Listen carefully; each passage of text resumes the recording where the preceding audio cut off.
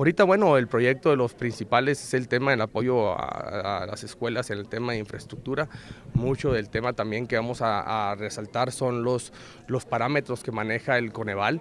El Coneval los maneja unos lineamientos que tenemos que atacar directamente al 100% con, con números específicos, donde tenemos que ir dirigidos a los niños de 3 y 5 años con el tema de preescolar.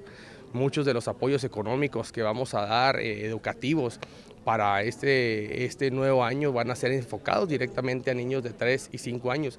Datos quiere decir que los que nos tenemos que ocupar en la iniciación del tema del niño en el nivel educativo y que tiene que ser preescolar y pues bueno, el tema de las techumbres que continúa para favorecer a las instituciones educativas.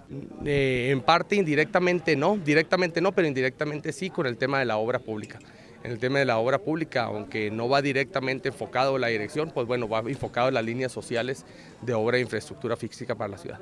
Bueno, este año nos otorgaron 35 millones de pesos, más lo que viene con el tema de la obra física que baja y, y circula a través de la dirección, pero lo opera directamente obras públicas, llega a los 100 millones de pesos.